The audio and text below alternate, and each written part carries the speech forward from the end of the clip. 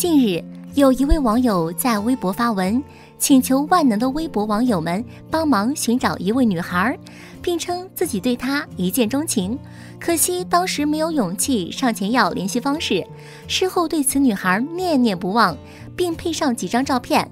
不料寻人对象竟是知名演员江疏影，引发网友热议。稍晚，江疏影本尊评论该网友微博。调侃对方下次勇敢一点，语气十分俏皮，让许多网友羡慕不已。